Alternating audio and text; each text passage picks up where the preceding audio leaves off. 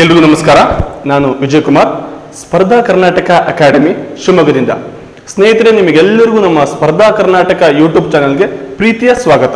ಸ್ನೇಹಿತರೆ, ಇವತ್ತಿನ ಕ್ಲಾಸಲ್ಲಿ ನಾನು ಎರಡ್ ಸಾವಿರದ ಹದಿನೆಂಟರಲ್ಲಿ ನಡೆದ ಎಫ್ ಡಿ ಎ ಎಕ್ಸಾಮಿಗೆ ಸಂಬಂಧಿಸಿದಂತೆ ಜಿ ಕೆ ಕ್ವಶನ್ಗಳನ್ನು ನಾನು ಅನಾಲಿಸಿಸ್ ಅನ್ನು ಮಾಡ್ತಾ ಹೋಗ್ತೀನಿ ರೈಟ್ ಸ್ನೇಹಿತರೆ, ಇನ್ನು ಯಾರು ನಮ್ಮ ಯೂಟ್ಯೂಬ್ ಚಾನಲ್ಗೆ ಸಬ್ಸ್ಕ್ರೈಬ್ ಆಗಿಲ್ವೋ ಸಬ್ಸ್ಕ್ರೈಬ್ ಆಗಿ ಬೆಲ್ ಬಟನ್ ಒತ್ತುವುದರ ಮೂಲಕ ನೋಟಿಫಿಕೇಶನ್ ಪಡ್ಕೊಳ್ತಾ ಹೋಗಿ. ಹಾಗೆ ಲೈಕ್ ಮಾಡಿ ಶೇರ್ ಮಾಡಿ, ನಮ್ಮ ತಪ್ಪು ಒಪ್ಪುಗಳನ್ನು ಕಮೆಂಟ್ ಬಾಕ್ಸಲ್ಲಿ ತಿಳಿಸ್ತಾ ಹೋಗಿ ರೈಟ್ ಸ್ನೇಹಿತರೆ, ಹಾಗಿದ್ದಲ್ಲಿ ಮೊದಲ ಪ್ರಶ್ನೆಗೆ ಹೋಗೋಣ ರೈಟ್ ನೋಡಿ, ಮೊದಲ ಪ್ರಶ್ನೆ ಹೇಗಿದೆ. ಇತ್ತೀಚೆಗೆ ಯಾವ ರಾಜ್ಯ ಸರ್ಕಾರವು ಮೋ ಸರ್ಕಾರ ಎಂಬ ಆಡಳಿತ ಪದ್ಧತಿಯನ್ನ ಜಾರಿಗೆ ತಂದಿದೆ? ರೈಟ್ ನೋಡಿ ಆಪ್ಷನ್ ಹೇಗಿದೆ. ಗುಜರಾತ್ ಇದೆ, ಒರಿಸ್ಸಾ ಇದೆ, ಪಶ್ಚಿಮ ಬಂಗಾಳ ಇದೆ, ಮಹಾರಾಷ್ಟ್ರ ಇದೆ ರೈಟ್ ಈ what is the meaning of ಮೋ ಸರ್ಕಾರ? ಏನು ಮೋ ಸರ್ಕಾರ ಬಗ್ಗೆ ನಿಮಗೆ ಏನು ಗೊತ್ತಿರಬೇಕು ನೋಡಿ. ಒರಿಸ್ಸಾ ರಾಜ್ಯ ಸರ್ಕಾರ, ಅಂದ್ರೆ ಒಡಿಸ್ಸಾದ ಮುಖ್ಯಮಂತ್ರಿ ನವೀನ್ ಪಟ್ನಾಯಕ್ ರವರು ಗಾಂಧೀಜಿರವರ ನೂರ ಐವತ್ತನೇ ಜಯಂತಿಯ ಸಂದರ್ಭದಲ್ಲಿ ಇತ್ತೀಚೆಗೆ ಹೊಸ ಆಡಳಿತ ನೀತಿಯನ್ನ ಇದು ಜಾರಿಗೆ ತರ್ತಾರೆ. ಆ ಆಡಳಿತ ನೀತಿಯೇ ಮೋ ಸರ್ಕಾರ. ಏನಿದು ಮೋ ಸರ್ಕಾರ ನಿಮಗೆ ಏನ್ ಗೊತ್ತಿರಬೇಕು ಇದರ ಬಗ್ಗೆ ಅಂತಂದ್ರೆ ಸ್ನೇಹಿತರೆ, ವಿವಿಧ ಉದ್ದೇಶಗಳಿಗಾಗಿ ಸರ್ಕಾರಿ ಕಚೇರಿಗಳಿಗೆ ಬರುವ ಜನರಿಗೆ ಗೌರವಿತವಾಗಿ ನೀಡುವ ಒಂದು ಯೋಜನೆ ಅದರ ಉದ್ದೇಶ ಆಗಿದೆ. ರೈಟ್, ಇಷ್ಟು ನಿಮಗೆ ಗೊತ್ತಿರಬೇಕು. ಹಾಗಿದ್ದಲ್ಲಿ ಮತ್ತೇನು ಗೊತ್ತಿರಬೇಕು ನಿಮಗೆ ಅಂತಂದ್ರೆ ಸ್ನೇಹಿತರೆ ನೋಡಿ, ಸರ್ಕಾರ ಅಧಿಕ, ಸರ್ಕಾರಿ ಅಧಿಕಾರಿಗಳ ನಡವಳಿಕೆ ಮತ್ತು ಅವರ ವೃತ್ತಿ ಪ್ರತಿಯ ಬಗ್ಗೆ ಈ ಪ್ರತಿಕ್ರಿಯೆಯನ್ನು ನೀಡುವಂತಹ ಒಂದು ಸಂಗ್ರಹ ಕೆಲಸವನ್ನು ಇದು ಮಾಡ್ತಾ ಹೋಗ್ತದೆ. ಮತ್ತೆ ಅದರ ಸುಧಾರಿಸುವಲ್ಲಿ ಇದು ಪ್ರಮುಖ ಪಾತ್ರವನ್ನ ವಹಿಸ್ತಾ ಹೋಗ್ತದೆ. ಹಾಗಿದ್ದಲ್ಲಿ ಮತ್ತೆ ಗುಜರಾತ್ ರಾಜ್ಯ ಸರ್ಕಾರ ಇತ್ತೀಚೆಗೆ ಯಾವ ಒಂದು ಸ್ಕೀಮ್ ಅನ್ನ ಎತ್ಕೊಂಡಿದೆ? ನೆಕ್ಸ್ಟ್ ಮುಂಬರುವ ಎಕ್ಸಾಮ್ಗಳಿಗೆ ನಾವು ಸಂಬಂಧಿಸಿದಂತೆ ನೋಡ್ತಾ ಹೋಗೋದಾದ್ರೆ ರೈಟ್ ನೋಡಿ, ಎರಡ್ ಸಾವಿರದ ಇಪ್ಪತ್ತರಲ್ಲಿ ಆತ್ಮ ನಿರ್ಭರ್ ಭಾರತ್ ಯೋಜನೆಯನ್ನ ಪ್ರಾರಂಭ ಮಾಡಿದೆ. ಸ್ನೇಹಿತರೆ ನಿಮಗೆಲ್ಲರೂ ಗೊತ್ತೇ ಇದೆ ಆತ್ಮ ನಿರ್ಭರ್ ಭಾರತ್ ಭಾರತ್ ಇದು ಇಂಡಿಯಾಗೆ ಸಂಬಂಧಿಸಿದ್ದು.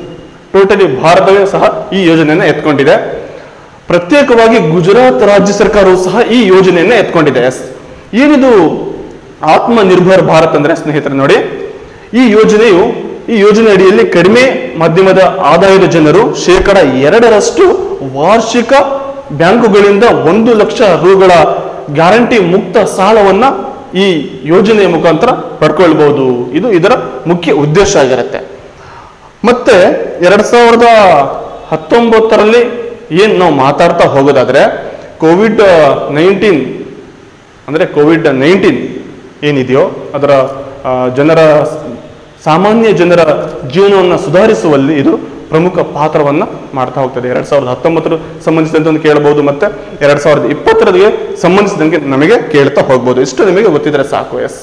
ಮತ್ತೆ ಪಶ್ಚಿಮ ಬಂಗಾಳ ಯಾವ ಯೋಜನೆಯನ್ನ ಈ ಎರಡ್ ಸಾವಿರದ ಇಪ್ಪತ್ತರಲ್ಲಿ ತೆಗೆದುಕೊಂಡಿದೆ ಅಂತಂದ್ರೆ ಸ್ನೇಹಿತರೆ ನೋಡಿ, ಜೈ ಜೋಹಾರ್ ಪದ್ಧತಿ ಅಂದ್ರೆ ಜೈ ಜೋಹಾರ್ ಯೋಜನೆ ಅಂದ್ರೆ ಈ ಯೋಜನೆಯನ್ನ ಪರಿಚಯ ಮಾಡಿದ್ದಾರೆ. ಸ್ನೇಹಿತರೆ ಇದು ಹೊಸ ಯೋಜನೆ ಆಗಿದೆ. ಪರಿಶಿಷ್ಟ ಜಾತಿ ಮತ್ತೆ ಪರಿಶಿಷ್ಟ ಬಂಗಡಗಳಿಗೆ ಸಮುದಾಯಕ್ಕೆ ಸೇರಿದಂತೆ ಎಲ್ಲಾ ಅರವತ್ತು ವರ್ಷ ವಯಸ್ಕರಿಗೆ ಮಾಸಿಕ ಒಂದು ಸಾವಿರ ರು ಮಾಸಿಕ ಪಿಂಚಣಿಯನ್ನ ಕೊಡುವಂತ ಒಂದು ಯೋಜನೆ ಇದು ಆಗಿದೆ. ಇಷ್ಟು ನಿಮಗೆ ಈ ಜೈ ಜೋಹಾರ್ ಪದ್ಧತಿ ಬಗ್ಗೆ ನಿಮಗೆ ಗೊತ್ತಿರಬೇಕು. ಈ ಯೋಜನೆ ಬಗ್ಗೆ ಗೊತ್ತಿರಬೇಕು. ಮತ್ತೆ ಮಹಾರಾಷ್ಟ್ರ ಸರ್ಕಾರ ಯಾವ ಯೋಜನೆಯನ್ನ ಪ್ರಾರಂಭಿಸಿದೆ ಅಂತಂದ್ರೆ, ಮಹಾರಾಷ್ಟ್ರ ಸರ್ಕಾರ ಮಾ ಈ ಸ್ಕಿಲ್ ಎರಡ್ ಸಾವಿರದ ಇಪ್ಪತ್ತು ಮಿಷನ್ ಅಂತ ಪ್ರಾರಂಭಿಸಿದೆ. ಈ ಯೋಜನೆ ಏನಪ್ಪಾ ಅಂತಂದ್ರೆ, ಈ ಯೋಜನೆ ಒಂದು ಲಕ್ಷ ಪದವೀಧರರಿಗೆ ಇಂಟರ್ನ್ಶಿಪ್ ವಿಸ್ತರಿಸುವ ಯೋಜನೆಗಾಗಿ ಮಹಾರಾಷ್ಟ್ರ ರಾಜ್ಯ ಸರ್ಕಾರ ಪ್ರತಿ ವರ್ಷ ಇದನ್ನ ಸ ಇನ್ನೂರ ಐವತ್ತ ಕೋಟಿ ವೆಚ್ಚವನ್ನ ಖರ್ಚು ಮಾಡ್ತಾ ಹೋಗ್ತಾ ಇದೆ. ಏನಿದು ಮಾ, ಈ ಸ್ಕಿಲ್ ಅಂತ ನಾವು ನೋಡೋದಾದ್ರೆ ಸ್ನೇಹಿತರೆ ನಿಮಗೆ ಗೊತ್ತಿರಬೇಕು. ಇದು ನಾಲ್ಕು ವರ್ಷಗಳ ಕಾರ್ಯ ಮುಂದುವರಿತಾ ಹೋಗ್ತದೆ. ಮತ್ತೆ ಯುವ ಜನರಿಗೆ ಉದ್ಯೋಗವನ್ನ ಕಲ್ಪಿಸ್ತಾ ಹೋಗ್ತದೆ. ಹಾಗೆ ಕೌಶಲ್ಯವನ್ನ ಹೆಚ್ಚಿಸ್ತಾ ಹೋಗ್ತದೆ. ಹಾಗೆ ರಾಜ್ಯದ ಅಭಿವೃದ್ಧಿಗೆ ಇದು ಸಹಾಯ ಮಾಡ್ತಾ ಹೋಗ್ತದೆ. ಇಷ್ಟು ನಿಮಗೆ ಈ ಮಾ, ಈ ಸ್ಕಿಲ್ ಮಿಷನ್ ಅದರ ಬಗ್ಗೆ ನಿಮಗೆ ಗೊತ್ತಿರಬೇಕು. ಸೊ ಹಾಗಿದ್ದಲ್ಲಿ ಈ ಪ್ರಶ್ನೆಗೆ ಆನ್ಸರ್ ಯಾವುದು ಅಂತಂದ್ರೆ option B Orissa. Good the next question C ಎರಡ್ ಸಾವಿರದ ಹದಿನೆಂಟರ ಡಿಸೆಂಬರ್ನಲ್ಲಿ ನಿಧನರಾದ ಪದ್ಮಶ್ರೀ ಮುಷಿರುಲ್ ಹಸನ್ ರವರು ಈ ಕೆಳಗಿನ ಕ್ಷೇತ್ರದಲ್ಲಿನ ಅವರ ಕೊಡುಗೆಯಿಂದ ಖ್ಯಾತಿಯಾಗಿದ್ದರು ಅಂತ ಇದೆ. Padmashri Mushirul Hasan who died in the December two thousand eighteen is the best known for his contribution for the field ಅಂತ ಕೊಟ್ಟಿದ್ದಾನೆ. ಆಪ್ಷನ್ ಹೇಗಿದೆ. ಇತಿಹಾಸ ಇದೆ, ಅರ್ಥಶಾಸ್ತ್ರ ಇದೆ, ವೈದ್ಯಕೀಯ ಸೇವೆ ಇದೆ ಸಂಗೀತ ಇದೆ. ಎಸ್ ರೈಟ್ ನಮಗೆ ಈ ಕ್ವಶನ್ಗೆ ಸಂಬಂಧಿಸಿದಂತೆ ನಿಮಗೆ ಏನು ಗೊತ್ತಿರ್ಬೋದು? ಯಾರಿದು ಮುಷಿರುಲ್ ಹಸನ್ ಯಾರು ಇವರು? ಇವ್ರ ಬಗ್ಗೆ ನಿಮಗೆ ಗೊತ್ತಿರ್ಬೋದು? ಸ್ನೇಹಿತರೆ, ಇವರು ಬಿಲಾಸ್ಪುರದವರು. ಇವರು ಭಾರತೀಯ, ಅಂದ್ರೆ ಆಧುನಿಕ ಭಾರತದ ಇತಿಹಾಸಕಾರ. ಭಾರತ ವಿಭಜನೆ ಕೋಮುವಾದ ಮತ್ತೆ ದಕ್ಷಿಣ ಏಷ್ಯಾ ಇಸ್ಲಾಂ ಧರ್ಮದ ಬಗ್ಗೆ ಒಂದು ವಿಶ್ಲೇಷಣೆಯನ್ನ ಕೊಟ್ಟಂತವರು ಮತ್ತು ಅದರ ಸಂಪೂರ್ಣ ಮಾಹಿತಿಯನ್ನ ಸಂಗ್ರಹಣೆ ಮಾಡಿದಂತ ಕೀರ್ತಿ ಯಾರಿಗೆ ಅಂತಂದ್ರೆ ಈ ಮುಷಿರುಲ್ ಹಸನ್ ರವರದು. ಮತ್ತು ಅವರಿಗೆ ಪದ್ಮಶ್ರೀ ಅವಾರ್ಡ್ ಸಿಕ್ಕಿದೆ. ಈ ಪದ್ಮಶ್ರೀ ಅವಾರ್ಡ್ಗೆ ಸಂಬಂಧಿಸಿದಂತೆ ಮುಂಬರುವ ಎಕ್ಸಾಮ್ಗಳಿಗೆ ಈ ಪದ್ಮ ಅವಾರ್ಡ್ಗಳ ಬಗ್ಗೆ ನಾವು ಮಾತಾಡ್ತಾ ಹೋಗೋಣ ರೈಟ್ ಎರಡ್ ಸಾವಿರದ ಇಪ್ಪತ್ತರಲ್ಲಿ ಈ ಅವಾರ್ಡ್ ಯಾರ್ಯಾರಿಗೆ ಸಿಕ್ಕಿದೆ, ಯಾವ ಕ್ಷೇತ್ರಕ್ಕೆ ಸಿಕ್ಕಿದೆ, ಅವ್ರು ಯಾರ್ಯಾರು, ಕರ್ನಾಟಕ ಸಂಬಂಧಿಸಿದಂತೆ ಎಷ್ಟು ಜನರಿಗೆ ಈ ಪ್ರಶಸ್ತಿಯನ್ನ ಲಭಿಸಿದೆ, ಇಷ್ಟು ನಿಮಗೆ ಮಾತಾಡ್ತಾ ಹೋಗೋಣ ರೈಟ್ ನೋಡಿ ಇದು ಭಾರತ ಸರ್ಕಾರ ಎರಡ್ ಸಾವಿರದ ಇಪ್ಪತ್ತರಲ್ಲಿ ಈ ಪದ್ಮ ಪ್ರಶಸ್ತಿಗಳನ್ನ ಗಣರಾಜ್ಯೋತ್ಸವದ ಮುಂದಿನ ದಿನ, ಅಂತಂದ್ರೆ ಜನವರಿ ಇಪ್ಪತ್ತಾರರಂದು ಏನ್ ಗಣರಾಜ್ಯೋತ್ಸವ ದಿನ ನಾವು ಆಚರಣೆಯನ್ನ ಮಾಡ್ತೀವೋ, ಅದರ ಹಿಂದಿನ ದಿನ ಜನವರಿ ಇಪ್ಪತ್ತೈದರಂದು ಈ ಪ್ರಶಸ್ತಿಗಳನ್ನ ಪ್ರದಾನ ಮಾಡ್ತಾ ಹೋಗ್ತಾರೆ. ರೈಟ್. ಕಲೆ ಶಿಕ್ಷಣ ಕ್ಷೇತ್ರ ಆಗಿರ್ಬೋದು ಕಲೆ ಕ್ಷೇತ್ರ ಆಗಿರ್ಬೋದು ಸಾಹಿತ್ಯ, ಕೈಗಾರಿಕಾ, ವ್ಯವಹಾರೋದ್ಯಮ ಕ್ಷೇತ್ರಗಳಿಗೆ ಮತ್ತು ಸಾಮಾಜಿಕ ಸೇವೆಗಳಿಗೆ ಅಗ್ರಗಣ್ಯ ಕೊಡುಗೆ ನೀಡಿದಂಥವರಿಗೆ ಈ ಪ್ರಶಸ್ತಿ ಪ್ರದಾನ ಮಾಡ್ತಾ ಹೋಗ್ತಾರೆ. Right right. ಎಸ್, ಮೊದಲ ಪ್ರಶ್ನೆ ಹೀಗಿದೆ. ಪದ್ಮ ವಿಭೂಷಣ ಇದೆ. ಸಾವಿರದ ಒಂಬೈನೂರ ಐವತ್ತು ನಾಲ್ಕರಲ್ಲಿ ಇದನ್ನ ಪ್ರಾರಂಭ ಮಾಡಿದ್ದಾರೆ. ಭಾರತದ ಅತ್ಯುನ್ನತ ದ್ವಿತೀಯ ಪ್ರಶಸ್ತಿ ಅಂತ ನಾವು ಇದನ್ನ ಕರಿತಾ ಹೋಗ್ತೇವೆ. ಸ್ನೇಹಿತರೆ, ಭಾರತದ ಅತ್ಯುನ್ನತ ಮೊದಲ ನಾಗರಿಕ ಪ್ರಶಸ್ತಿ ಯಾವುದು ಅಂತಂದ್ರೆ ಅದು ಭಾರತ ರತ್ನ ಪ್ರಶಸ್ತಿ. ಭಾರತದ ಅತ್ಯುನ್ನತ ದ್ವಿತೀಯ ನಾಗರಿಕ ಪ್ರಶಸ್ತಿ ಯಾವುದು ಅಂತಂದ್ರೆ ಅದು ಪದ್ಮ ವಿಭೂಷಣ ಪ್ರಶಸ್ತಿ. ಎರಡ್ ಸಾವಿರದ ಇಪ್ಪತ್ತೇಳರಲ್ಲಿ ಏಳು ಜನರಿಗೆ ಈ ಪ್ರಶಸ್ತಿ ಲಭಿಸಿದೆ, ರೈಟ್? ಮತ್ತೆ ಆ ಅಂದೆನ್ ಈ ಏಳು ಜನ ಯಾರ್ಯಾರು ಅಂತ ನಾವು ನೋಡೋದಾದ್ರೆ, ಜಾರ್ಜ್ ಫರ್ನಾಂಡಿಸ್, ಕೇಂದ್ರದ ಮಾಜಿ ಸಚಿವರು, ಇವರಿಗೆ ಮರಣೋತ್ತರವಾಗಿ ಈ ಪ್ರಶಸ್ತಿ ಸಿಕ್ಕಿದೆ. ಅರುಣ್ ಜೇಟ್ಲಿ ಕೇಂದ್ರ ಮಾಜಿ ವಿತ್ತ ಸಚಿವರು, ಮರಣೋತ್ತರವಾಗಿ ಈ ಪ್ರಶಸ್ತಿ ಸಿಕ್ಕಿದೆ. ಮತ್ತೆ ಸುಷ್ಮಾ ಸ್ವರಾಜ್ ಅವರು, ಭಾರತದ ಮಾಜಿ ವಿದೇಶಾಂಗ ಸಚಿವರು, ಇವರಿಗೂ ಸಹ ಮರಣೋತ್ತರವಾಗಿ ಸಿಕ್ಕಿದೆ. ಪೇಜಾವರ ಶ್ರೀಗಳು ಅಷ್ಟಮಠದ ಒಂದಾದ ಉಡುಪಿಯ ಪೇಜಾವರ ಮಠದ ಸ್ವಾಮಿಗಳು, ಇವರಿಗೂ ಸಹ ಈ ಪ್ರಶಸ್ತಿ ಮರಣೋತ್ತರವಾಗಿ ಸಿಕ್ಕಿದೆ. ಮತ್ತೆ ಮೇರಿ ಕೋಮ್ ಭಾರತದ ಬಾಕ್ಸಿಂಗ್ ಪಟು ಇವರಿಗೂ ಸಹ ಈ ಪ್ರಶಸ್ತಿ ಲಭಿಸಿದೆ. ಅನಿರುದ್ಧ ಜಗನ್ನಾಥ್ ರವರು ಇವರಿಗೂ ಸಹ, ಮಾರಿಷಸ್ನ ರಾಜಕಾರಣಿ ಇವರು ಇವರಿಗೂ ಸಹ ಈ ಪ್ರಶಸ್ತಿ ಸಿಕ್ಕಿದೆ. ಚನ್ನೂಲಾಲ್ ಮಿಶ್ರಾ ಅಂತಿದ್ದಾರೆ, ಅವರಿಗೂ ಸಹ ಈ ಪ್ರಶಸ್ತಿ ಸಿಕ್ಕಿದೆ ಅವರಿಗೆ. ಇದು ಅವರು ಉತ್ತರ ಪ್ರದೇಶದ ಹಿಂದೂಸ್ತಾನಿ ನೃತ್ಯ ಕಲಾವಿದರು. ಉತ್ತರ ಪ್ರದೇಶದ ಹಿಂದೂಸ್ತಾನಿ ನೃತ್ಯ ಕಲಾವಿದರು, ರೈಟ್. ಮತ್ತೆ ಪದ್ಮಭೂಷಣ ಇದೆ. ಇದು ಭಾರತದ ಅತ್ಯುನ್ನತ ಮೂರನೇ ನಾಗರಿಕ ಪ್ರಶಸ್ತಿ. ಇದನ್ನು ಸಹ ಸಾವಿರದ ಒಂಬೈನೂರ ಐವತ್ತ ನಾಲ್ಕರಲ್ಲಿ ಸಹ ಪ್ರಾರಂಭ ಮಾಡಿದ್ದಾನೆ. ಆ, ಸಾವಿರ ಎರಡ್ ಸಾವಿರದ ಇಪ್ಪತ್ತರಲ್ಲಿ ಹದಿನಾರು ಜನರಿಗೆ ಈ ಪ್ರಶಸ್ತಿ ಲಭಿಸಿದೆ. ಆ ಹದಿನಾರು ಜನ ಅಲ್ದಲೆ ನಮಗೆ ಏನ್ ಇಂಪಾರ್ಟೆಂಟ್ ಆಗಿರುತ್ತೋ ಮೇಜರ್ ಆಗಿ ನಾನು ಪ್ರಮುಖರ ಬಗ್ಗೆ ನಾನು ಮಾತಾಡ್ತಾ ಹೋಗ್ತೇನೆ. ರೈಟ್? ಪ್ರಮುಖರು. ಮೊದಲನೇದಾಗಿ ಪಿ ವಿ ಸಿಂಧುರವರಿಗೆ ಈ ಪ್ರಶಸ್ತಿ ಸಿಕ್ಕಿದೆ. ಭಾರತೀಯ ಬ್ಯಾಡ್ಮಿಂಟನ್ ಆಟಗಾರ್ತಿ ಮತ್ತೆ ಮನೋಹರ್ ಪರಿಕರ್ ಅವರು ಕೇಂದ್ರದ ರಕ್ಷಣಾ ಸಚಿವರು ಮತ್ತೆ ಗೋವಾದ ಮುಖ್ಯಮಂತ್ರಿ ಆಗಿದ್ರು. ಇವರಿಗೂ ಸಹ ಈ ಪ್ರಶಸ್ತಿ ಸಿಕ್ಕಿದೆ. ಮತ್ತೆ ಆನಂದ್ ಮಹೀಂದ್ರ ಇದೆ. ಅವರು ಭಾರತದ ಉದ್ಯಮಿ. ಅವರಿಗೂ ಸಹ ಈ ಪ್ರಶಸ್ತಿ ಸಿಕ್ಕಿದೆ. ಪ್ರೊಫೆಸರ್ ಜಗದೀಶ್ ಶೇಟ್ ಇದೆ ಅಂತ ಇದ್ದಾರೆ. ಯು ಎಸ್ ಎದ ಸಾಹಿತ್ಯ ಮತ್ತು ಶಿಕ್ಷಣ ಕ್ಷೇತ್ರಕ್ಕೆ ಕೊಡುಗೆ ನೀಡಿದವರು, ಇವರಿಗೂ ಸಹ ಈ ಪ್ರಶಸ್ತಿ ಸಿಕ್ಕಿದೆ. ಇಷ್ಟು ಓವರ್ ಏನ್ ಪ್ರಶಸ್ತಿಗಳನ್ನು ಕೊಟ್ಟಿದ್ದಾರೋ, ಅವರ ಕ್ಷೇತ್ರ ಆಗಿರ್ಬೋದು, ಆಮೇಲೆ ವಿಷಯಕ್ಕೆ ಸಂಬಂಧಿಸಿದಂತೆ ಅವ್ರಿಗೆ ಏನು ಕೇಳ್ಬೋದು, ಇಷ್ಟು ನಿಮಗೆ ಮೇಜರ್ ಗೊತ್ತಿದ್ರೆ ಸಾಕು right go to the next point next concept ಏನಿದೆ ಅಂತಂದ್ರೆ, ನೋಡಿ ಪದ್ಮಶ್ರೀ ಅವಾರ್ಡ್ ಭಾರತದ ಅತ್ಯುನ್ನತ ನಾಲ್ಕನೇ ನಾಗರಿಕ ಪ- ಪ್ರಶಸ್ತಿ ಆಗಿದೆ ಸಾವಿರದ ಒಂಬೈನೂರ ಐವತ್ನಾಲ್ಕರಲ್ಲಿ ಇದನ್ನು ಪ್ರದಾನ ಮಾಡ್ ಮಾಡಲಾಗ್ತದೆ. ನೋಡಿ, ಎರಡ್ ಸಾವಿರದ ಇಪ್ಪತ್ತರಲ್ಲಿ ನೂರ ಹದಿನೆಂಟು ಪ್ರಶಸ್ತಿ ಪ್ರದಾನ ಮಾಡಿದ್ದಾರೆ. ನಮಗೆ ಗೊತ್ತಿರಬೇಕು. ಆ ನೂರ ಹದಿನೆಂಟು ಪ್ರಶಸ್ತಿ ಇಂಪಾರ್ಟೆಂಟ್ ಏನ್ ಅಲ್ಲ, ಈ ಕರ್ನಾಟಕದವರಿಗೆ ಯಾರಿಗಾರಿಗೆ ಕೊಟ್ಟಿದ್ದಾರೆ? ಏನ್ ಕರ್ನಾಟಕಕ್ಕೆ ಸಂಬಂಧಿಸಿದಂತೆ ನಿಮಗೇನು ಗೊತ್ತಿರಬೇಕು? ನೋಡಿ, ಕರ್ನಾಟಕದವರಿಗೆ ಏಳು ಜನರಿಗೆ ಈ ಪ್ರಶಸ್ತಿ ಸಿಕ್ಕಿದೆ ರೈಟ್ ಏಳು ಜನ ಯಾರ್ಯಾರು ಅಂತಂದ್ರೆ ಮೊದಲನೇದಾಗಿ ಎಂ ಪಿ ಗಣೇಶ್ ಇದ್ದಾರೆ. ಅವರಿಗೆ ಹಾಕಿ ಆಟಗಾರರು ಹಾಕಿ ಆಟಗಾರ ಅವರಿಗೂ ಸಹ ಸಿಕ್ಕಿದೆ. ಮತ್ತೆ ಬಿ ಎನ್ ಗಂಗಾಧರ್ ಇದ್ದಾರೆ. ಅವರು ಸಹ ವೈದ್ಯಕೀಯ ಕ್ಷೇತ್ರಕ್ಕೆ ಈ ಪ್ರಶಸ್ತಿ ಸಿಕ್ಕಿದೆ. ಭಾರತ್ ಗೋಯಂಕ ವ್ಯಾಪಾರ ಮತ್ತು ಕೈಗಾರಿಕಾ ಕ್ಷೇತ್ರ. ವಿಜಯ ಶಂಕೇಶ್ವರ್ ಅವರು ವಿಜಯವಾಣಿ ಮತ್ತೆ ವಿಜಯವಾಣಿ ಪತ್ರಿಕೆಯ ಮಾಲೀಕರು ಮತ್ತೆ ವ್ಯವಹಾರೋದ್ಯಮ ಮತ್ತು ಕೈಗಾರಿಕಾ ಕ್ಷೇತ್ರಕ್ಕೆ ಅವರಿಗೆ ಈ ಸಿಕ್ಕಿದೆ. ತುಳಸಿ ಗೌಡ ಇದೆ. ಅವರು ಸಾಮಾಜಿಕ ಸೇವೆಯಲ್ಲಿ ಈ ಪ್ರಶಸ್ತಿ ಅವರಿಗೆ ಸಿಕ್ಕಿದೆ.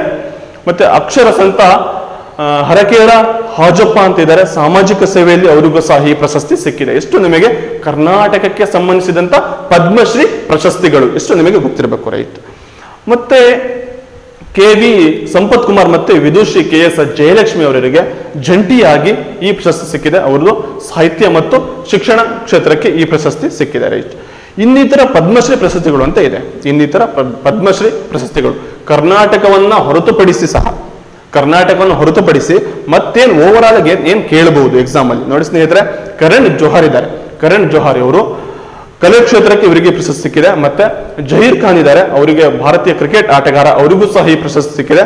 ರಾಣಿ ರಂಪಾಲ್, ಇವರು ಭಾರತೀಯ ಹಾಕಿ ತಂಡದ ನಾಯಕಿ. ಇವರಿಗೂ ಸಹ ಈ ಪ್ರಶಸ್ತಿ ಸಿಕ್ಕಿದೆ. ಕಂಗನಾ ರನೌತ್ ಕಲೆ ಕ್ಷೇತ್ರಕ್ಕೆ ಈ ಪ್ರಶಸ್ತಿ ಸಿಕ್ಕಿದೆ. ಮತ್ತೆ ಜೀತು ರೈ, ಭಾರತೀಯ ಶೂಟಿಂಗ್ ಪಟು, ಇವರಿಗೂ ಸಹ ಈ ಪ್ರಶಸ್ತಿ ಸಿಕ್ಕಿದೆ. ಎಷ್ಟು ನಿಮಗೆ ಓವರ್ ಆಲ್ ಗೊತ್ತಿದ್ರೆ ಮುಂಬರುವ ಎಕ್ಸಾಮ್ಗಳಿಗೆ ನಿಮಗೆ ತುಂಬಾ ಹೆಲ್ಪ್ಫುಲ್ ಆಗುತ್ತೆ ರೈಟ್ ಹಾಗಿದ್ದಲ್ಲಿ ಈ ಪ್ರಶ್ನೆಗೆ ಆನ್ಸರ್ ಯಾವುದು ಅಂತಂದ್ರೆ ಆಪ್ಷನ್ ಎ ಇತಿಹಾಸ right go to the next question ಈ ಕೆಳಗಿನ ಯಾವ ಸಿನಿಮಾವು ತೊಂಬತ್ತೊಂದನೇ ಅಕಾಡೆಮಿ ಪ್ರಶಸ್ತಿಗಳಲ್ಲಿ, ಹೆಚ್ಚಿನ ಪ್ರವರ್, ಪ್ರವರ್ಗಗಳಲ್ಲಿ ಗೆಲುವನ್ನ ಗಳಿಸಿತು. Which of the following movies win the most number of the categories at the ninety one Academy Awards ಅಂತ ಕೊಟ್ಟಿದ್ದಾನೆ. ರೈಟ್ ಆಪ್ಷನ್ ಹೀಗಿದೆ. ಗ್ರೀನ್ ಬುಕ್ ಇದೆ. ಆಪ್ಷನ್ ಬಿ ರೋಮಾ ಇದೆ. ಆಪ್ಷನ್ ಸಿ ಬೆಹೋಮಿಯನ್ ರ್ಯಾಪ್ಸೋಡಿ ಇದೆ. ಆಪ್ಷನ್ ಡಿ ಬ್ಲ್ಯಾಕ್ ಪ್ಯಾಂಥರ್ ಇದೆ right ಇಷ್ಟು ನಿಮಗೆ option ಕೊಟ್ಟಿದ್ದಾರೆ. ಏನಿದು ತೊಂಬತ್ತೊಂದನೇ ಅಕಾಡೆಮಿ ಪ್ರಶಸ್ತಿ ಸಿನಿಮಾ ರಂಗದ್ದು ಅಂತಂದ್ರೆ ಸ್ನೇಹಿತರೆ, ನಿಮಗೆಲ್ಲರಿಗೂ ಗೊತ್ತಿರಬೇಕು ಆಸ್ಕರ್ ಪ್ರಶಸ್ತಿ. ಆಸ್ಕರ್ ಪ್ರಶಸ್ತಿಗಳ ಬಗ್ಗೆ ನಿಮಗೆ ಏನ್ ಗೊತ್ತಿರಬೇಕು ಮೇಜರ್ ಆಗಿ ಅಂತಂದ್ರೆ ಸ್ನೇಹಿತರೆ ನೋಡಿ, ಸಿನಿಮಾ ಕ್ಷೇತ್ರದ ಅತ್ಯುನ್ನತ ಪ್ರಶಸ್ತಿ. ಈ ಪ್ರಶಸ್ತಿಯನ್ನ ಪ್ರತಿ ವರ್ಷ ಪ್ರದಾನ ಮಾಡಲಾಗ್ತದೆ. ಎಲ್ಲಿ ಪ್ರದಾನ ಮಾಡ್ತಾರೆ ಅಂತಂದ್ರೆ ಕೇಳ್ತಾ ಹೋಗ್ತಾನೆ. ರೈಟ್ ಇದು ಅಮೆರಿಕಾದ ಲಾಸ್ ಏಂಜಲಿಸ್ನಲ್ಲಿ ಈ ಪ್ರಶಸ್ತಿಯನ್ನ ಪ್ರದಾನ ಮಾಡಲಾಗ್ತದೆ. ಯಾರು ಪ್ರಶಸ್ತಿಯನ್ನ ಪ್ರದಾನ ಮಾಡ್ತಾರೆ ಅಂತಂದ್ರೆ Academy of Motion Pictures Arts and Science ನವರು ಇದು ಈ ಪ್ರಶಸ್ತಿಯನ್ನ ಪ್ರದಾನ ಮಾಡ್ತಾ ಹೋಗ್ತಾರೆ. ಎಕ್ಸಾಮ್ ಅಲ್ಲಿ ಬಂದಿರುವಂತ ಪ್ರಶ್ನೆ ರೈಟ್. ತೊಂಬತ್ತೊಂದನೇ ಈ ಅವಾರ್ಡ್ಗಳ ಬಗ್ಗೆ ನಿಮಗೆ ಏನ್ ಗೊತ್ತಿರಬೇಕು, ಏನ್ ಮಾತಾಡೋದಾದ್ರೆ ಸ್ನೇಹಿತರೆ ನೋಡಿ. ಸಾವಿರದ ಒಂಬೈನೂರ ಸಾರಿ ತೊಂಬತ್ತೊಂದನೇ ಪ್ರಶಸ್ತಿ ಈ ಚಲನಚಿತ್ರ, ಅತ್ಯುತ್ತಮ ಚಲನಚಿತ್ರ ಪ್ರಶಸ್ತಿ ಪಡೆದ ಚಲನಚಿತ್ರ ಯಾವುದು ಅಂತಂದ್ರೆ ಗ್ರೀನ್ ಬುಕ್ ಗ್ರೀನ್ ಬುಕ್ ಅತ್ಯುತ್ತಮ ಚಲನಚಿತ್ರ ಪ್ರಶಸ್ತಿ ಪಡೆದಿದೆ. ರೈಟ್ ಯಾರು ನಿರ್ದೇಶಕರು ಯಾರು ಅಂತ ನೋಡೋದಾದ್ರೆ, ಅವರು ಪೀಟರ್ ಫೆರಾಲೆ. ಎಕ್ಸಾಮ್ ಅಲ್ಲಿ ಕೇಳ್ತಾ ಹೋಗ್ತೀನಿ ಸ್ನೇಹಿತರೆ, ತುಂಬಾ ಇಂಪಾರ್ಟೆಂಟ್ ಆಗಿರುತ್ತೆ. ನೋಟ್ ಮಾಡ್ಕೋಬೇಕು ರೈಟ್ ಅತಿ ಹೆಚ್ಚಿನ ಪ್ರಶಸ್ತಿ ಪಡೆದ ಸಿನಿಮಾ ಯಾವುದು ಅಂತಂದ್ರೆ ಬೆಹೋಮಿಯನ್ ರ್ಯಾಪ್ಸೋಡಿ ಅತಿ ಹೆಚ್ಚಿನ ಸಿನಿಮಾ ಪಡೆದ ಪ್ರಶಸ್ತಿ ಪಡೆದ ಸಿನಿಮಾ ಯಾವುದು ಅಂತಂದ್ರೆ ಬೆಹೋಮಿಯನ್ ರ್ಯಾಪ್ಸೋಡಿ ಇನ್ನಿತರ ಪ್ರಶಸ್ತಿಗಳನ್ನ ಪಡೆದ ಸಿನಿಮಾಗಳು ಯಾವ್ಯಾವ ಅಂತಂದ್ರೆ ರೋಮಾ ಇದೆ, ಮತ್ತೆ ಬ್ಲಾಕ್ ಪ್ಯಾಂಥರ್ ಇದೆ.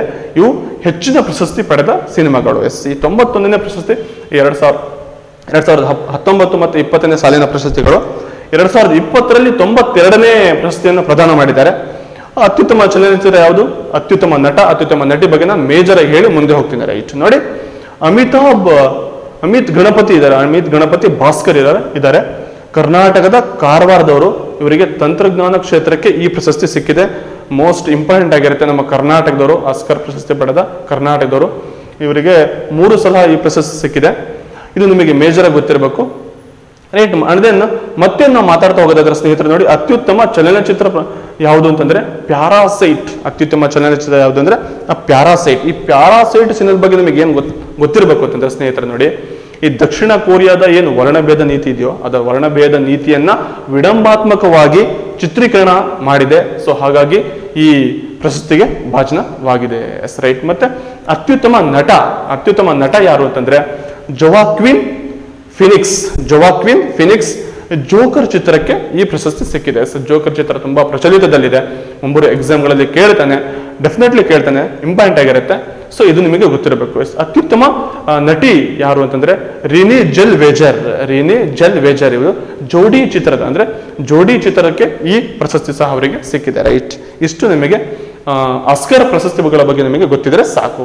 ಹಾಗಿದ್ದಲ್ಲಿ ಇದಕ್ಕೆ ಆನ್ಸರ್ ಯಾವುದು ಅಂತಂದ್ರೆ option A Green Book right go to the next question C ಎರಡ್ ಸಾವಿರದ ಹದಿನೆಂಟನೇ ಸಾಲಿನ ಹೆಚ್ ಡಿ ಐ ರ್ಯಾಂಕಿಂಗ್ನಲ್ಲಿ ಭಾರತದ ರ್ಯಾಂಕಿಂಗ್ ಎಷ್ಟು ಅಂತ ಕೇಳಿದ right ranked India in two thousand eighteen H D I rankings ಅಂತ ಇದೆ. ಆಪ್ಷನ್ ಎ ನೂರ ಮೂವತ್ತಿದೆ ಆಪ್ಷನ್ ಬಿ ನೂರ ಮೂವತ್ತಾರಿದೆ ಆಪ್ಷನ್ ಸಿ ನೂರ ಇಪ್ಪತ್ತೇಳಿದೆ ಆಪ್ಷನ್ ಡಿ ನೂರ ನಲವತ್ತ ಮೂರಿದೆ ಎಸ್ ಇದಕ್ಕೆ ಸಂಬಂಧಿಸಿದಂತೆ ಈ ಎಚ್ ಡಿ ಬಗ್ಗೆ ನಿಮಗೆ ಏನು ಗೊತ್ತಿರಬೇಕು ಸ್ನೇಹಿತರೆ? Human Development Index Human Development Index ಮಾನವ ಅಭಿವೃದ್ಧಿ ಸೂಚ್ಯಾಂಕ. ಇದನ್ನ ಪ್ರಧಾನ ಅಂದ್ರೆ ಪ್ರಸ್ತುತಪಡಿಸೋರು ಯಾರು ಅಂತಂದ್ರೆ U N D P United Nations Development Programme ವಿಶ್ವಸಂಸ್ಥೆ ಅಭಿವೃದ್ಧಿ ಕಾರ್ಯಕ್ರಮ ಅಂತ ಗೊತ್ತಾರೆ ಇದನ್ನ ಪ್ರಸ್ತುತವನ್ನ ಪಡಿಸ್ತಾರೆ. ಎಷ್ಟು ದೇಶಗಳ ಪಟ್ಟಿಯಲ್ಲಿ ಅಂತ ನಾವು ಮಾತಾಡ್ತಾ ಹೋಗೋದಾದ್ರೆ ನೂರ ಎಂಬತ್ತು ದೇಶಗಳು. ಈ ಈ ಏನು ಎಚ್ ಡಿ ಏನು ವರದಿಯನ್ನ, ಬಿಡುಗಡೆಯನ್ನ ಮಾಡ್ತದೋ, ಎಷ್ಟು ದೇಶಗಳ ದೇಶಗಳ ಪಟ್ಟಿಯಲ್ಲಿ ಅಂತಂದ್ರೆ ನೂರ ಎಂಬತ್ತು ದೇಶಗಳು ನಿಮಗೆ ಗೊತ್ತಿರಬೇಕು ಇಂಪಾರ್ಟೆಂಟ್ ಆಗಿರುತ್ತೆ. ಹಾಗಿದ್ದಲ್ಲಿ ಎರಡ್ ಸಾವಿರದ ಹದಿನೆಂಟರಲ್ಲಿ ಭಾರತ ಎಷ್ಟನೇ ಸ್ಥಾನವನ್ನು ಪಡೆದಿದೆ ಅಂತಂದ್ರೆ ಸ್ನೇಹಿತರು ಗೊತ್ತಿರಲಿ, ನೂರ ಮೂವತ್ತನೇ ಸ್ಥಾನವನ್ನು ಪಡೆದಿದೆ. ಎಷ್ಟು ಸ್ಥಾನವನ್ನು ಪಡೆದಿದೆ? ನೂರ ಮೂವತ್ತನೇ ಸ್ಥಾನವನ್ನು ಪಡೆದಿದೆ, ರೈಟ್. ಎರಡ್ ಸಾವಿರದ ಹತ್ತೊಂಬತ್ತರಲ್ಲಿ ಎಚ್ ಡಿ ಐ ಪಟ್ಟಿಯಲ್ಲಿ ಭಾರತ ಎಷ್ಟನೇ ಸ್ಥಾನವನ್ನು ಪಡೆದಿದೆ ಅಂತಂದ್ರೆ ನೂರ ಇಪ್ಪತ್ತೊಂಬತ್ತನೇ ಅಂದರೆ ಒಂದು ಪರ್ಸೆಂಟೇಜ್ ಮುಂದಾಗಿದೆ ರೈಟ್ ಇದು ನಿಮಗೆ ಗೊತ್ತಿರಬೇಕು. ನೂರ ಇಪ್ಪತ್ತೊಂಬತ್ತನೇ ಸ್ಥಾನವನ್ನ ಪಡ್ಕೊಂಡಿದೆ. ಏನಿದು ಹೆಚ್ ಡಿ ಐ ಸ್ನೇಹಿತರು, ಗೊತ್ತಿರಲಿ? ಜನರ ಯೋಗಕ್ಷೇಮ ಸುಧಾರಿಸುವಲ್ಲಿ ದೇಶದ ಗಮನಾರ್ಹ ಸಾಧನೆಯ ಸೂಚ್ಯಾಂಕ ಮತ್ತೆ ಜನರ ಜೀವನ ಮಟ್ಟವನ್ನ ಇದು ಸುಧಾರಣೆಯನ್ನ ಮಾಡ್ತಾ ಹೋಗ್ತದೆ ರೈಟ್ ಇದು ನಿಮಗೆ ಗೊತ್ತಿರಬೇಕು. ಸೊ ಹಾಗಿದ್ದಲ್ಲಿ ಆಪ್ಷನ್ ಎ, ಇದಕ್ಕೆ ಸರಿಯಾದ ಉತ್ತರ right go to the next question ಸ್ನೇಹಿತರೆ, ನೋಡಿ, ಐದನೇ ಪ್ರಶ್ನೆ ಹೇಗಿದೆ. ವಿಜಯ ಕೇಳ್ಕರ್ ಸಮಿತಿ ಭಾರತದಲ್ಲಿ ರಚನೆಯಾದಿದ್ದು ಇದರ ಸಂಬಂಧಿ. It is related the formation of the Vijay Kelkar committee in India ಅಂತ ಇದೆ. ಆಪ್ಷನ್ ಎ ಹೀಗಿದೆ. ತೆರಿಗೆ ಸುಧಾರಣೆ, ಹಣಕಾಸು ವಲಯ, ಪಂಚಾಯತ್ ರಾಜ್, ಸಾರ್ವಜನಿಕ ವಲಯ ಉದ್ದಿಮೆಗಳು ಅಂತ ಇದೆ. So what is the meaning of Vijay Kelkar committee, ಈ ಕಮಿಟಿ ಬಗ್ಗೆ ನಿಮಗೆ ಏನು ಗೊತ್ತಿರಬೇಕು? ಮುಂಬರುವ ಎಕ್ಸಾಮ್ಗಳಲ್ಲಿ ಯಾವ ಯಾವ ಕಮಿಟಿನ ಕೇಳಬಹುದು, ಯಾವ ಯಾವ ಕಮಿಟಿ ಇಂಪಾರ್ಟೆಂಟ್ ಆಗಿರುತ್ತೆ, ಅಷ್ಟನ್ನು ನಾನು ಹೇಳಿ ಮುಂದೆ ಹೋಗ್ತೀನಿ ರೈಟ್ ನೋಡಿ, ವಿಜಯ ಕೇಳಕರ್ ಸಮಿತಿ ಸಂಬಂಧ ಏನು ಸಂಬಂಧಿಸಿದೆ ಅಂತಂದ್ರೆ ಸ್ನೇಹಿತರೆ, ಪ್ರತ್ಯಕ್ಷ ಹಾಗೂ ಪರೋಕ್ಷ ತೆರಿಗೆ ಸುಧಾರಣೆಗೆ ಕುರಿತಾಗಿ ಅಧ್ಯಯನವನ್ನು ಮಾಡ್ತಾ ಹೋಗ್ತದೆ ರೈಟ್ ಧರ್ಮವೀರ ಕಮಿಟಿ ಏನು ಹೇಳುತ್ತೆ ಅಂತಂದ್ರೆ ಪೊಲೀಸ್ ಸುಧಾರಣೆ ಬಗ್ಗೆ ಹೇಳುತ್ತೆ. ಈ ಸರ್ಕಾರಿ ಸಮಿತಿ ಲಾಸ್ಟ್ ಎಕ್ಸಾಮ್ ಅಲ್ಲಿ ಎಫ್ ಡಿ ಎ ಮತ್ತೆ ಕೆ ಎಸ್ ಎಕ್ಸಾಮ್ ಮತ್ತೆ P C P S C exam ಸಹ ಬಂದಿರುವಂತಹ ಪ್ರಶ್ನೆ. ಸರ್ಕಾರಿ ಸಮಿತಿ ಕೇಂದ್ರ ರಾಜ್ಯಗಳ ಸಂಬಂಧಗಳ ಬಗ್ಗೆ ಕುರಿತು ಅಧ್ಯಯನವನ್ನು ಮಾಡ್ತದೆ. ಕಾಲೇಲ್ಕರ್ ಆಯೋಗ ಇದೆ. ಇದು ಭಾರತದ ಪ್ರಥಮ ಹಿಂದುಳಿದ ವರ್ಗಗಳ ಆಯೋಗ. ತುಂಬಾ ಇಂಪಾರ್ಟೆಂಟ್ ಆಗಿರುತ್ತೆ ಕೇಳ್ತಾನೆ. ಮಹಾಜನ್ ಆಯೋಗ ಇದೆ. ಮಹಾರಾಷ್ಟ್ರ ಮತ್ತು ಕರ್ನಾಟಕ ಗಡಿ ಸಮಸ್ಯೆಗಳನ್ನು ನಿವಾರಿಸುವಲ್ಲಿ ಇದು ಈ ಸಮಿತಿ ರಚನೆ ಆಗಿದೆ. ಬಲವಂತರಾಯ್ ಮೆಹತಾ ರಾಯ್ ಮೆಹ್ತಾ ಸಮಿತಿ ಸುಮಾರು ಎಕ್ಸಾಮ್ ಅಲ್ಲಿ ಸಹ ಕೇಳಿದ್ದಾನೆ. ಇದು ಪಂಚಾಯತ್ ರಾಜ್ ಸ್ಥಾಪನೆಗೆ ಕುರಿತಾದಂತಹ ಒಂದು ಸಮಿತಿ ಆಗಿದೆ. ಮತ್ತಿನ್ನೇನು ನೋಡ್ಬೋದು ನಾವು? ಮತ್ತಿನ್ನೇನು ಕೇಳ್ಬೋದು ಅವರು? ಈ ಇಷ್ಟನ್ನು ಅಲ್ದಲೆ ಮತ್ತಿನ್ನೇನು ಕೇಳ್ಬೋದು ಅಂತ ನಾವು ನೋಡೋದಾದ್ರೆ, ಸ್ನೇಹಿತರೆ ನೋಡಿ, ಎಂ ನರಸಿಂಹನ್ ಸಮಿತಿ ಇದೆ, ಬ್ಯಾಂಕುಗಳ ಸುಧಾರಣೆ ಅದು. ಗಾಡ್ಗಿಲ್ ಸಮಿತಿ ಇದೆ, ಪಶ್ಚಿಮ ಘಟ್ಟಗಳ ಬಗ್ಗೆ ಮಾತಾಡ್ತಾ ಹೋಗ್ತದೆ. ಕೆ ಕಸ್ತೂರಿ ರಂಗನ್ ಸಮಿತಿ, ಇವರು ಪಶ್ಚಿಮ ಘಟ್ಟಗಳ ಬಗ್ಗೆನೂ ಮಾತಾಡ್ತದೆ ಮತ್ತೆ ಶಿಕ್ಷಣ ಸುಧಾರಣೆಗಳ ಬಗ್ಗೆನೂ ಈ ಕಸ್ತೂರಿ ರಂಗನ್ ಸಮಿತಿ ಮಾತಾಡ್ತಾ ಹೋಗ್ತದೆ. ರೈಟ್ ಟೆಂಡೂಲ್ಕರ್ ಸಮಿತಿ ಇದೆ. ಇದು ಬಡತನ ನಿರ್ಮೂಲನೆ ಬಗ್ಗೆ ಇದು ಅಧ್ಯಯನವನ್ನು ಮಾಡ್ತಾ ಹೋಗ್ತದೆ. ಕೊಠಾರಿ ಆಯೋಗ ಇದೆ. ರಾಷ್ಟ್ರೀಯ ಶಿಕ್ಷಣ ನೀತಿ ಸುಧಾರಣೆಯನ್ನು ಮಾಡ್ತಾ ಹೋಗ್ತದೆ, ರೈಟ್. ಮತ್ತೆ ಎಲ್ ಎಂ ಸಿಂಗ್ವಿ ಸುಮಾರು ಎಕ್ಸಾಮ್ ಅಲ್ಲಿ ಬಂದಿರುವಂತಹ ಪ್ರಶ್ನೆ, ಇದು ಪ್ರವಾಸಿ ಭಾರತೀಯ ದಿವಸ ಆಚರಣೆಗೆ ಶಿಫಾರಸು ಮಾಡಿದ ಒಂದು ಕಮಿಟಿ ಅಂತ ನಾವು ಇಷ್ಟು ಹೇಳ್ಬೋದು. ಇಷ್ಟು ನಿಮಗೆ ಓವರ್ ಆಲ್ ಇಂಪಾರ್ಟೆಂಟ್ ಆಗಿರುತ್ತೆ. ಇಷ್ಟು ನಿಮಗೆ ಮೇಜರ್ ಗೊತ್ತಿರಬೇಕು. ಸೊ ಹಾಗಿದ್ದಲ್ಲಿ ವಿಜಯ ಕೇಳ್ಕರ್ ಸಮಿತಿ ಯಾವುದಕ್ಕೆ ಸಂಬಂಧಿಸಿದೆ ಅಂತಂದ್ರೆ ಆಪ್ಷನ್ ಬಿ ಹಣಕಾಸು ವಲಯ, right. Yes and then another question next question ನೋಡೋದಾದ್ರೆ ಆರನೇ ಪ್ರಶ್ನೆ ಹೇಗಿದೆ. ಕರ್ನಾಟಕ ರಾಜ್ಯದ ಆರನೇ ವೇತನ ಆಯೋಗದ ಅಧ್ಯಕ್ಷರು ಯಾರು ಅಂತ ಕೇಳಿದಂಗೆ. Yes. Who is the chairman of the six pay commission of the state of Karnataka yes. Option ಹೇಗಿದೆ ನೋಡಿ ಸ್ನೇಹಿತರೆ. Shri M R Srinivas Murthy, Mohammed Sanaulla, professor U R Rao, justice Jagannath Shetty. ಈ- ವೇತನ ಆಯೋಗದ ಸಂಬಂಧಿಸಿದಂತೆ ನಿಮಗೆ ಏನು ಗೊತ್ತಿರಬೇಕು? ಸ್ನೇಹಿತರೆ, ನೋಡಿ, ಆರನೇ ವೇತನ ಆಯೋಗ. ಮೇಜರ್ ಆಗಿ ಹೇಳಿ ಅಷ್ಟೇ ನಾನು ಮುಂದೆ ಹೋಗ್ತೀನಿ. ರೈಟ್ ನೋಡಿ. ಆರನೇ ವೇತನ ಆಯೋಗ. ಅಧ್ಯಕ್ಷರು ಯಾರು ಅಂತಂದ್ರೆ M R Srinivas Murthy.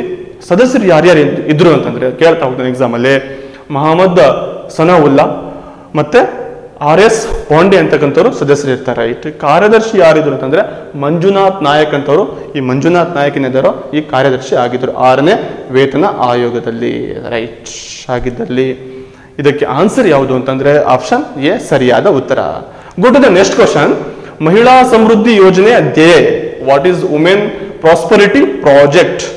Option A ಹೀಗಿದೆ. ಗ್ರಾಮೀಣ ಮಹಿಳೆಯರ ಅಂಚೆ ಕಚೇರಿಯ ಉಳಿತಾಯ ಠೇವಣಿ ಖಾತೆ ತಯಾರಾಗುವಿಕೆ. ಮತ್ತೆ ಗ್ರಾಮೀಣ ಮಹಿಳೆಯರ ಸ್ವ ಉದ್ಯೋಗವಾಗಿದೆ. ಗ್ರಾಮೀಣ ಮಹಿಳೆಯರ ಆರೋಗ್ಯ ಸೌಭಾಗ್ಯವಾಗಿದೆ, ಸೌಲಭ್ಯವಾಗಿದೆ. ಗ್ರಾಮೀಣ ಮಹಿಳೆಯರ ಮತ್ತು ಮಕ್ಕಳ ಜೀವನ ಮಟ್ಟ ಸುಧಾರಿಸುವ ಹೆಚ್ಚಳಿಕೆ ಆಗಿದೆ. ಇಷ್ಟು ಆಪ್ಷನ್ಗಳಿದೆ.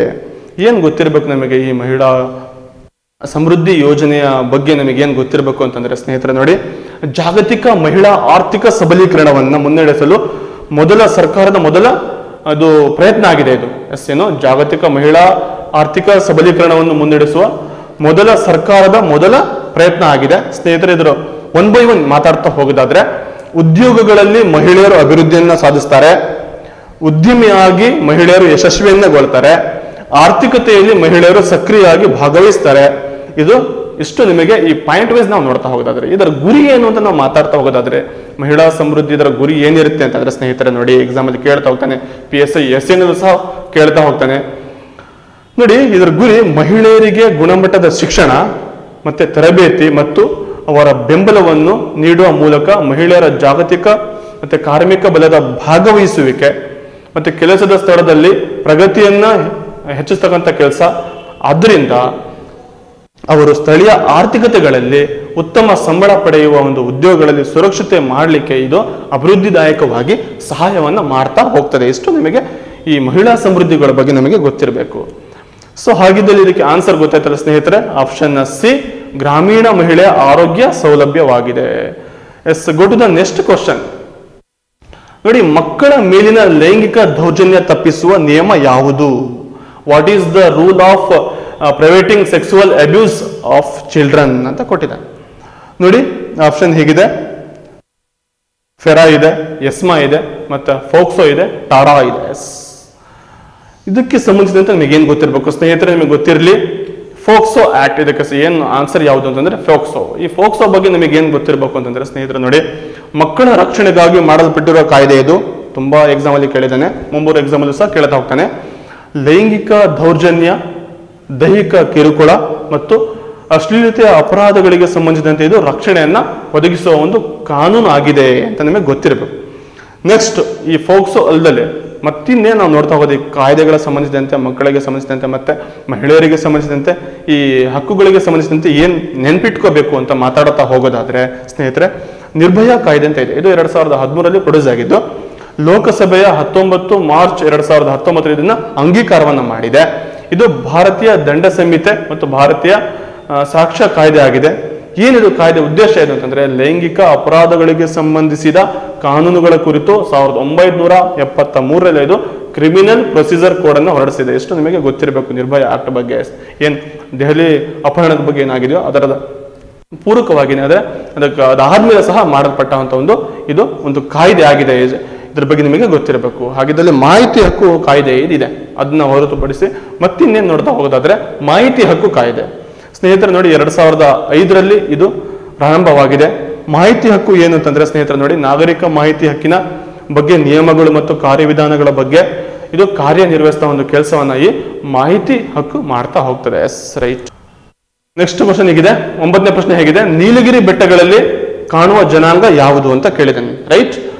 What is the species found in the eucalyptus hills ಅಂತ ಇದೆ. ಆಪ್ಷನ್ ಹೇಗಿದೆ. ತೋಡ ಇದೆ, ಬಡಗ ಇದೆ, ಮತ್ತೆ ಕೋಟ ಇದೆ, ಮತ್ತೆ ಇರುಳಿಗ ಇದೆ. ಇದರ ಬಗ್ಗೆ ನಿಮಗೇನು ಗೊತ್ತಿರಬೇಕು? ಎಕ್ಸಾಮ್ ಅಲ್ಲಿ ಏನು ಕೇಳ್ತಾ ಹೋಗ್ತೀನಿ ಸ್ನೇಹಿತರೆ, ಈ ಬುಡಕಟ್ಟು ಜನಾಂಗಗಳಿಗೆ ಭಾರತಕ್ಕೆ ಸಂಬಂಧಿಸಿದಂತೆ, ಬುಡಕಟ್ಟು ಜನಾಂಗಗಳಿಗೆ ಸಂಬಂಧಿಸಿದಂತೆ ಯಾವ ಯಾವ ರಾಜ್ಯದಲ್ಲಿ ಯಾವ ಯಾವ ಬುಡಕಟ್ಟು ಜನಾಂಗ ಇದೆ ಓವರ್ ಆಲ್ ಕೇಳ್ತಾ ಹೋಗ್ತಾನೆ. ನಮಗೆ ಮೇಜರ್ ಆಗಿ ನಾನು ಇದಕ್ಕೆ ಎಕ್ಸಾಮ್ ಓರಿಯೆಂಟ್ ನಾನು ಹೇಳ್ತಾ ಹೋಗ್ತೇನೆ. ಅಷ್ಟು ನೆನ್ಪಿಟ್ಕೊಂಡಿದ್ರೆ ಸಾಕು ಎಸ್ ಭಾರತೀಯ ಬುಡಕಟ್ಟು ಜನಾಂಗಗಳು, ಇಷ್ಟು ಸಹ ಎಕ್ಸಾಮ್ ಅಲ್ಲಿ ಇಂಪಾರ್ಟೆಂಟ್ ಆಗಿರುತ್ತೆ. ಇಷ್ಟನ್ನ ನೀವು ನೋಟ್ ಮಾಡ್ಕೊಂಡಿದ್ರೆ ತುಂಬಾ ಯೂಸ್ಫುಲ್ ಆಗಿರುತ್ತೆ. ರೈಟ್ ಒಂದು ಮೊದಲನೇದಾಗಿ ತೋಡರು ಇದೆ. ಇದು ತಮಿಳುನಾಡು. ತೋಡೂರು, ಬುಡಕಟ್ಟು ಜನಾಂಗ ಯಾವುದು ಅಂತಾರೆ ತಮಿಳುನಾಡು. ಮತ್ತೆ ನೆಕ್ಸ್ಟ್ ಸೋಲಿಗರು ಇದೆ. ಎಕ್ಸಾಮ್ ಅಲ್ಲಿ ಬಂದಿರುವಂತ ಪ್ರಶ್ನೆ ಸೋಲಿಗರು ಮತ್ತೆ ಸಿದ್ದಿ, ಕೊಡವ ಇದೆಲ್ಲ ಕರ್ನಾಟಕಕ್ಕೆ ಸಂಬಂಧಿಸಿದಂತೆ. ಈ ಕರ್ನಾಟಕಕ್ಕೆ ಸಂಬಂಧಿಸಿದ ಯಾವ್ಯಾವ ಡಿಸ್ಟಿಕ್ಗೆ ಸಂಬಂಧಿಸಿದಂತೆ ಅಂದ್ರೆ ಚಾಮರಾಜನಗರ ಆಗಿರ್ಬೋದು, ಮೈಸೂರು ಆಗಿರ್ಬೋದು, ಮಡಿಕೆ, ಮಡಿಕೇರಿ ಆಗಿರ್ಬೋದು ಇದಕ್ಕೆ ಹತ್ತಿರ ಆಗಿರುತ್ತೆ. ರೈಟ್ ಈ ಕಾಸಿ, ಬುಡಕಟ್ಟು ಜನಾಂಗ ಮೇಘಾಲಯ ರಾಜ್ಯಕ್ಕೆ ಸಂಬಂಧಿಸಿದಂತೆ. ಈ ಗಡಬ ಮತ್ತೆ ಚೆಂಚು ಆಂಧ್ರ ಪ್ರದೇಶ, ಮುಂಡರು ಜಾರ್ಖಂಡ್, ಮತ್ತೆ ಬಿಷ್ಪೂರಿಯಾ ಬಿಷ್ಪೂರಿಯಾ, ಮಣಿಪುರ, ಮತ್ತೆ ಗೊಂಡರು, ಮಧ್ಯಪ್ರದೇಶ, ಮತ್ತೆ ಬಿಲ್ಸ್, ಇದು ರಾಜಸ್ಥಾನ. ಎಸ್, ಇಷ್ಟು ನಿಮಗೆ ಅಲ್ದಲ್ಲಿ. ಮತ್ತಿನ್ನೇನು ನಾವು ನೋಡ್ತಾ ಹೋಗೋದಾದ್ರೆ ನೋಡಿ ಸ್ನೇಹಿತರೆ, ಸಂತಾಲೂರು ಇದೆ ಬಂದಿರುವಂತಹ ಪ್ರಶ್ನೆ. ಸಂತಾಲೂರು, ಪಶ್ಚಿಮ ಬಂಗಾಳ, ಬಿಹಾರ, ಜಾರ್ಖಂಡ್, ಒಡಿಸ್ಸಾ, ಈ ಭಾಗಗಳಲ್ಲಿ ಕಂಡುಬರುವಂತಹ ಒಂದು ಬುಡಕಟ್ಟು ಜನಾಂಗ ಯಾವುದಂದ್ರೆ ಸಂತಾಲೂರು ಕೇಳಿದಂಗೆ ಪ್ರಶ್ನೆ. ಎಸ್, ಈ ಖೋರ ಇದೆ. ಅಂಡಮಾನ್ ನಿಕೋಬಾರ್, ಖೋರ, ಅಂಡಮಾನ್ ನಿಕೋಬಾರ್ ಕಂಡು ಬಂದ ಒಂದು ಬುಡಕಟ್ಟು ಜನಾಂಗ. ಎಸ್, ಗಾರೋ ಇದೆ. ಗಾರೋ ಇದು ಮೇಘಾಲಯ ರಾಜ್ಯದ್ದು. ಸಾರಿ ಗಾರು ಮೇಘಾಲಯ ರಾಜ್ಯದ್ದು. ಮತ್ತೆ ಅಂಗಾಮಿ ಇದೆ, ಅದು ನಾಗಾಲ್ಯಾಂಡ್ ರಾಜ್ಯದ್ದು. ಮತ್ತೆ ಭೂತಿಯಾ ಇದೆ, ಅದು ಸಿಕ್ಕಿಂದು ಮತ್ತೆ ನೈಶಿ ಬುಡಕಟ್ಟು ಇದೆ ಎಕ್ಸಾಮಲ್ಲಿ ಅಲ್ಲಿ ಬಂದಿರುವಂತ ಪ್ರಶ್ನೆ ಆಗಿದೆ. ನೈಶಿ ಬುಡಕಟ್ಟು ಅರುಣಾಚಲ ಪ್ರದೇಶದ್ದು ಎಸ್ ಮತ್ತೆ ಬೂಡೋ ಇದೆ, ಅದು ಅಸ್ಸಾಂದು ಮತ್ತೆ ವಾರ್ಲಿ ಮತ್ತೆ ವರ್ಲಿ ಇದೆ, ಅದು ಮಹಾರಾಷ್ಟ್ರದ್ದು. ಕುರುಂಬನ್ ಇದೆ, ಇದು ಕೇರಳ ಮತ್ತೆ ತಮಿಳುನಾಡು ಭಾಗಗಳಲ್ಲಿ ಕಂಡುಬರುವಂತಹ ಒಂದು ಬುಡಕಟ್ಟು ಜನಾಂಗ. ಇಷ್ಟು ನಿಮಗೆ ಗೊತ್ತಿರಬೇಕು, ಎಸ್. ಸೊ ಹಾಗಿದ್ದಲ್ಲಿ ಈ ಪ್ರಶ್ನೆಗೆ ಆನ್ಸರ್ ಯಾವುದು ಅಂತಂದ್ರೆ ಆಪ್ಷನ್ ಎ ತೋಡ ಅಂದ್ರೆ ತೋಡರು. Yes go to the last question ನೋಡಿ, ಈ ಕೆಳಗಿನ ರಾಜ್ಯಗಳಲ್ಲಿ ಯಾವುದು ಅತ್ಯಂತ ನಗರೀಕರಣಕ್ಕೊಳಗಾಗಿರುವ ರಾಜ್ಯ ಅಂತ ಕೇಳಿದ್ದಾನೆ. Which of the state following state is most urbanised state ಅಂತ ಕೊಟ್ಟಿದ್ದಾನೆ. ಆಪ್ಷನ್ ಹರಿಯಾಣ ಇದೆ, ಮಧ್ಯಪ್ರದೇಶ ಇದೆ, ಉತ್ತರ ಪ್ರದೇಶ ಇದೆ, ಪಂಜಾಬ್ ಇದೆ. ಎಸ್ ಈ ಅಂದ್ರೆ ಈ ಅರ್ಬನೈಸ್ಡ್ ಸ್ಟೇಟ್ಗಳ ಬಗ್ಗೆ ಮಾತಾಡ್ತಾ ಹೋಗೋದಾದ್ರೆ ಆಪ್ಷನ್ಗಳು ಕೊಟ್ಟಿದ್ದಾನೆ. ಆ ಆಪ್ಷನ್ಗಳಲ್ಲಿ ಯಾವುದು ಅಂತ ಕೊಟ್ಟಿದ್ದಾನೆ. ಅದಕ್ಕಿಂತ ಹೊರತುಪಡಿಸಿ ಬೇರೆ ಸ್ಟೇಟ್ ಮತ್ತೆ ಬೇರೆ ರಾಜ್ಯಗಳು ಮೊದಲ ಸ್ಥಾನದಲ್ಲಿ ಇದ್ದಾವೆ. ಆ ಆಪ್ಷನ್ಗಳಿಗೆ ಸಂಬಂಧಿಸಿದಂತೆ ನಾನು ಮಾತಾಡ್ತಾ ಹೋಗ್ತೇನೆ, ರೈಟ್? ನೋಡಿ ಸ್ನೇಹಿತರೆ, ವಸತಿ ಮತ್ತು ನಗರ ವ್ಯವಹಾರಗಳ ಸಚಿವಾಲಯ ಅಂತಂದ್ರೆ Ministry of Housing and Urban Affairs ಇದನ್ನ ವರದಿ ಮಾಡ್ತಾ ಹೋಗ್ತದೆ. ಇದರ ಅನ್ವಯ ನಮ್ಮ ರಾಷ್ಟ್ರೀಯ ರಾಜಧಾನಿ ಏನು ದೆಹಲಿ ಇದೆಯೋ ಮತ್ತೆ ಚಂಡೀಗಢ ಇದೆಯೋ ಅತಿ ಹೆಚ್ಚು ನಗರೀಕರಣವನ್ನು ಹೊಂದಿದೆ. ನಿಮಗೆ ಮೇಜರ್ ಗೊತ್ತಿರಬೇಕು. ಕ್ರಮವಾಗಿ ತೊಂಬತ್ತೇಳು ಪಾಯಿಂಟ್ ಐದು ಮತ್ತೆ ತೊಂಬತ್ತೇಳು ಪಾಯಿಂಟ್ ಇಪ್ಪತ್ತೈದು ಪ್ರತಿಶತ ದರದಷ್ಟು ನಗರಗಳನ್ನು ಇದು ಜನಸಂಖ್ಯೆಯನ್ನು ಹೊಂದಿದೆ. ಮತ್ತೆ ನಾವು ನೆಕ್ಸ್ಟ್ ಏನು ನೋಡ್ತಾ ಹೋಗೋದಾದರೆ ನೆಕ್ಸ್ಟ್ ಕಾನ್ಸೆಪ್ಟ್ ನೆಕ್ಸ್ಟ್ ನೆಕ್ಸ್ಟ್ ನೋಡ್ತಾ ಹೋಗೋದಾದ್ರೆ ತಮಿಳುನಾಡು ನಲವತ್ತೆಂಟು ಪಾಯಿಂಟ್ ನಾಲ್ಕು, ನಂತರ ಕೇರಳ, ನಲವತ್ತೇಳು ಪಾಯಿಂಟ್ ಏಳು ಅತಿ ಹೆಚ್ಚು ನಗರೀಕರಣವನ್ನು ಹೊಂದಿದೆ. ಇಷ್ಟು ನಿಮಗೆ ಗೊತ್ತಿರಬೇಕು.